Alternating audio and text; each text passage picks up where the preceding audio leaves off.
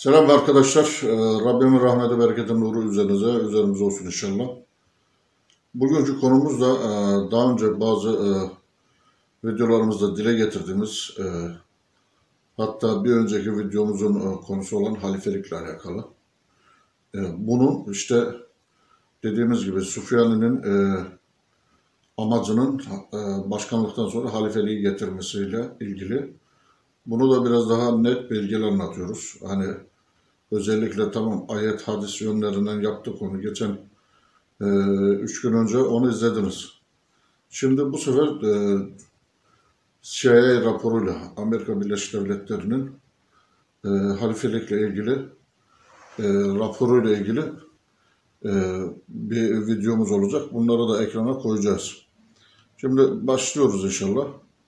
28 Ocak e, 2005'te CIA e, rapor hazırladı. E, Beyaz Saray'a sundu. Bu Beyaz Saray'a sunduğu raporda İslam dünyasına yeni bir şekil vermek için harekete geçen ABD planları arasına hilafeti de aldı.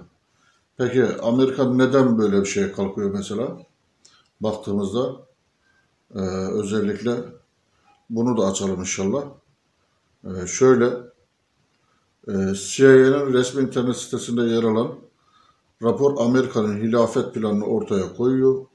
Ulusal İstihbarat Konseyi tarafından hazırlanan raporun adı Geleceği hat, Haritalandırmak. E, rapor 2020 yılında dünyanın siyasi haritasını, güç dengelerini ele alıyor. E, yani 2020 yılında dünyaya verilmek istenen şeklin senaryosu şimdiden hazır. Yani 2005'ten 2020'yi hazırlıyorlar. Nasıl bir şekil verecekler, nasıl bu işleri yöneteceklerine dair. Senaryoda İslam dünyasına hilafet rolü verilmiş. E, Amerika 2020 yılında Müslümanlar arasında bir halife çıkarmayı planlıyor diye gazete başlıklarına, haber TV programlarına konu olan bir durum kardeşlerim. Şimdi hal böyleyken son gündemde de e, hatta kendi adamları olan bir kişi ne dedi? Amerikan e, projesiydi dedi. AKP'nin kuruluşu doğru mu? Şimdi biz de bunun e, özellikle nasıl olduğunu, eğer bunların bir projesi ve böyle bir hilafet kurulusu da varsa birebir örtüşen durumları tespit ettik. Şimdi AK Parti'nin e, simgesi nedir? Ampul değil mi? Normalde araştırdık kardeşlerim. Gelişi güzel değil. Fas'ta da buna benzer bir daha önce e, kandil şeklinde e, e, kandil içinde olan bir e, şey var yani. AK Parti'nin diyelim bir önceki versiyonu gibi. Yalnız ben onu dikkate almadım. Hani e, benzerlikler olabilir, oraya da bakmış olabilirler, örnek almış olabilirler ama bizim özellikle bunların e, şeytanla birebir irtibatlı olduğunu e, anlattığımız her, her daim bellidir. Niye? Deccaliyete, deccaliyette e, şeytana hizmet ediyor diye. Şimdi ee, özellikle ampuldeki sembollere baktığımızda e, ampulün alt kısmında özellikle duyu kısmı diyoruz ya orada duyuya çevirdiğimizdeki kısım normalde ampul tepeden aşağı bakar. Yukarıdan aşağıya aydınlatır. Bunu da iyi bilin. Bak yukarıda ampulü ters çevirdiğinizde onda dikini tutmuş ya ters çevirdiğinizde yukarıda 911 var. 911 neymiş? Amerika'da onu da size metin olarak ekranda görüyorsunuz. Kuzey Amerika numaralandırma planı. NAMP e, için acil telefon numarası. Bu numara 8N11 kodundan biridir. Bu telefon numarası sadece acil durumlarda kullanılır. Diğer hallerde kullanımı olmayan durumlar ve telefon şakası gibi şeyler suç teşkil edebiliyormuş şurada. Şimdi bu 911 ne demek? Şeytandan yardım istemek. Yani 660 6'dan yani yardım istiyoruz. Ben sıkıştım bana yardım et. Çünkü şeytan kim? Amerika. Amerika'yı kim yönlendiriyor? 1947'den beri şeytanlar yönlendiriyor. Yani Amerika'da ete kemiğe bürünmüş şeytan. Şimdi durum böyle. Bunun baktığımızda e, AK Parti'nin ambleminin içinde ampulde 6 dedik 911. Yani ampulü tavanda koyduğunuzda üstte 911. O akıl var. Şeytan akıl var. Altta peki ne var? İşte Amerika'nın en büyük sembolü e, özgürlük anıtı. Özgürlük anıtını kim yaptı falan filan oraya girmiyorum. Özgürlük anıtına baktığımızda ne var? Bir taç var. taçın üstünde yedi tane ok işareti var. Ve ateş elinde tutuyor sağ elinde. Bir de sol tarafında bir kitap tutuyor. Büyük ihtimalle bu İncil'i temsil ediyor. Şimdi bu şeytani yapı diyor ki biz özgürlüğü, şeytan olarak özgürlüğü bu partiyle İslam alemine getireceğiz. Nasıl getireceğiz? İşte orada o ateşi alıyorlar, ampulün içine koyuyorlar. Aydınlatacaklar ampulle.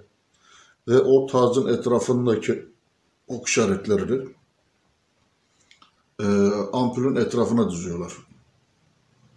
Yani bu şeyi bu şekilde e, güncelleyerekten farklı bir modda gönderiyor. Yani diyor ki şeytan hem Türkiye hem İslam alemini bu şekilde hani aydınlataraktan kendine hizmetkar edecek. Şimdi o süreçten bu sürece baktığımızda dediğimiz gibi şartlar bir bir gerçekleşiyor. Hani e, bunu çok iyi görmek lazım. Yani birebir de adamların bu işi iyi yaptığını, gayet güzel işlediğini, hatta bunun e, 666 ile ilgili e, mecliste neden milletvekilleri 550'den 600'e çıkarıldı. Dışarıdan atamalarla sürekli alıp vermelerle kasıtlı bilinçli bir şekilde bu sayı 666'ya çıkarılacak diye defaatça söyledim. Niçin? Mesaj veriliyor. Biz şeytana hizmet ediyoruz, şeytanın hizmetçisiyiz diye. Demek istediğimi anlıyorsunuz değil mi kardeşlerim? Şimdi ben bunu görsel olarak komple yapmıştım bir video. E, telif hakları nedeniyle işte onu e, revize ettik. Bu şekilde yaptık. Hani korkumuz çekincemiz yok ama hani bu kanalımızın kapanmasından dolayı hani bu bilgilerimiz sıkıntıya uğramasın diye bu videoya işte gördüğünüz 3-5 tane görsel koyabildik daha iyi anlayabilirsiniz diye. Yani bizim Rabbimizin lütuf ve ihsanıyla gerek e, hadis ve ayetlerden olsun gerekse de güncel konuların yani günümüze bu kadar gelen güncel konuları da harmanlayarak da bu işin gerçekten de halifelik tercihine kadar gidileceğini buradan da e, Deccal, Rabbimiz ne demiştik? Rabbimiz Deccaliyet ve Sufyan'ın eliyle e, halifeliğe ve hatta yeryüzünü e, tek devlete hazırlıyor. Bunu hazırlarken işte hem Deccal'a yaptırıyor hem Sufyan'a yaptırıyor. Şimdi bunlar da organize çalışıyorlar, işbirlikçileri, beraberler. Çünkü hepsi aynı anda, bütün dünya şu anda özellikle belli odaklar şeytana hizmet ediyor. Yani bir bakıyorsunuz Amerika'da bir olay oluyor, örneğin Kudüs'le ilgili. Buradan da bir şey çıkıyor yine aynı kafayla savunuyorum şeyle. Yani ikili, üçlü, beşli oynanıyor. Bunu halkımızın iyi bilmesi lazım. Çünkü e, yakındaki e, yakın zamanda belki bu yılın sonuna doğru e, böyle bir tercih yapacaklardır. Gidişat oraya gidiyor. Biz de bunu inşallah bu verilerle ve görsellerle tespit ettik ve inşallah da iyi anlatabilmişizdir kardeşlerim. E, durum bu ortaya çıkan evet e, bu partinin kuruluşundan amblemine kadar hepsi bir organize ve e, bu sonunun da halifelikle tamamlanacağını ve e, onlara göre işte bunların kurduğu sisteme göre bu halifelikle İslam alemini yönetecekler. Kendilerine verilen rol bu. Mesela e, e, Recep Tayyip Erdoğan'ın kullandığı bir laf vardı. Biden'la görüşemediğinden ne dedi? Biz Obama ve e, e, şeyle çok iyi çalıştık dedi. Trump'la hiç. Yani onlar hepsi Türkiye'ye saldırdı. Türkiye'yi yıkmak istediler. Şimdi bir cumhurbaşkanı ya da bir başbakan nasıl diyebilir biz onlarla iyi çalıştık, sizle de çalışalım. Yani bunu yine bizim tespitimiz de ortaya koyuyoruz. Demek ki siz işbirlikçisiniz artı içeriği yıkmaya çalışıyorsunuz. Yani içeriğiyle alakanız yok. Yani ne Türklükle ne Anadolu'yla mesela hiç alakanız yok. O nedenle çok iyi çalıştınız. Biden döneminde biraz e, Biden yüzünüze bakmayınca bunu dile getirmiş oldunuz. Yani adamlar her şeyi yaparken de itiraf ediyorlar. Çünkü yetki bunlarda, kolluk bunlarda, güç bunlarda olduğu için çekinmeden de söylüyorlar. Hani 666 muhabbetine girmiştik. Pandemiden hastaneye yatanlara da 666 hatta bu 666'yı dikkat çekmesin diye 696'ya çevirenler var. Ondan verdiler. Özellikle rakamsallar üzerinde çok mesaj verildi. Mesela o eski Milli Eğitim Bakanı işte e, uzaydan insanların beyni e, okunacak, çip takılacak biz de buna hazırlanıyoruz derken bunlar bunlarla birlikte işbirlikçi olduklarını işte Bill Gates'in e, ondan sonra diğer o Jeff Bezos'un bu ülkeye neden gelip gittiğini e, bunlarla işte Elon Musk'la neden bu kadar irtibatlı olunduğunu yani bunları ticaret ötesi e, işbirliği olduğunu orman yangınlarına kadar götürebilirsiniz kardeşlerim. O nedenle e, bu konu öyle sıradan bir konu değil. Şeytan ve şeytanın işbirlikçileri, Deccal ve Sufyan'ın birlikte çalıştığının ispatıdır. Zaten hadislere de bu o, çalışma çok uygun, uyuyor da. Biz de bunu tespit edebiliyoruz biznillah. Yani çalıştıklarını delil ispatla ortaya koyan bir video oldu inşallah.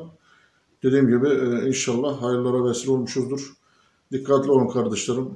Bu saatten sonra dediğimiz gibi hiçbiri hiçbiri ne Türkiye ile ne Anadolu ile ne Türklükle ne Kürtlükle ne Araplıkla alakası yoktur içerideki yönetenler veya yönetmeye talip olanlar dahil.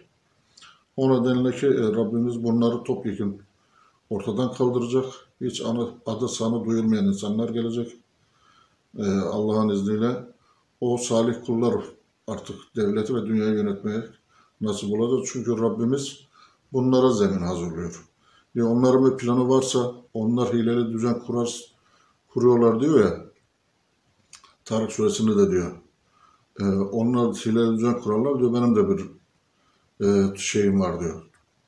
Tuzağım var diyor. İşte o tuzak bu tuzak kardeşlerim. Onlar biz yapıyoruz ediyoruz biz kazanacağız deseler de en son Biden'ın da dünyayı işte e, kendileri açısından aslında anlatıyorlar bunu. Artık bir lidere tabi olacağız dedikleri de bu Deccal George W. Bush'tur. E, sistemin başına onu getirecekler. Ona bir gönderme yapıyorlar. O nedenle kardeşlerim e, tabi dedik ya Rabbimiz onların eline yaptırıyor, her şeyi hazırlatıyor. Ondan sonra İslam'ın hükümdarlığına, Mehdi Aleyhisselam'ın hükümdarlığına geçecek bu sistem. Yani iki ayaklı bir hazırlık var Deccaliyet ve Süfyan üzerine. E, bunu bilmekte fayda var. Yani bir sürü konu var iç içe. Biz e, aklımızda kalan, e, işte zaman darlığından dolayı da yapabildiğimiz içerikler için aldık inşallah. İnşallah hayırlara vesile olduğumu düşünüyorum. Bir başka videoda görüşmek üzere. Rabbime emanet olunuz.